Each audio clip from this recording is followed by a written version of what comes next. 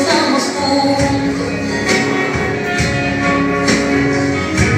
Hablemos a mi vida a cada segundo.